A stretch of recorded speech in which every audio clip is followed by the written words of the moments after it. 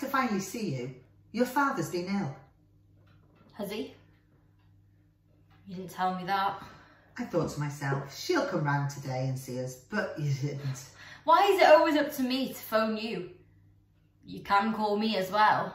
Anyway, I'm sure he'll appreciate a visit when you have time.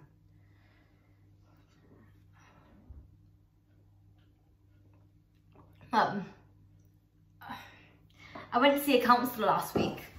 She told me I needed to talk to you.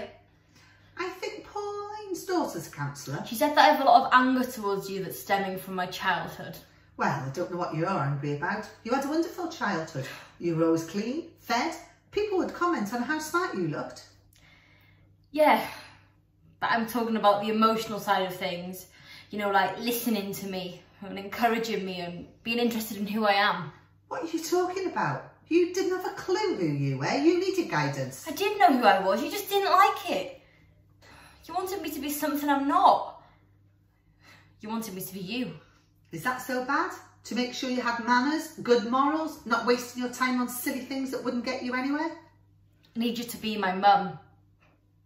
Not to tell me I can't draw because you didn't want me to do art or saying that I didn't look right. It was constant,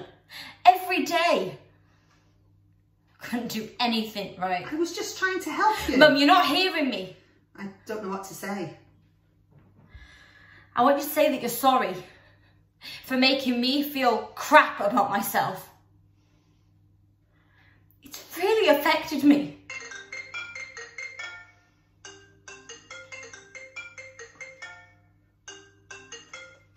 Hi, how are you? Oh, I'd love that. Yeah, okay, I'll see you shortly. I'm sorry, but I've got to dash off. Norma needs me to help with something, so we'll speak later, yeah? Bye, Mum.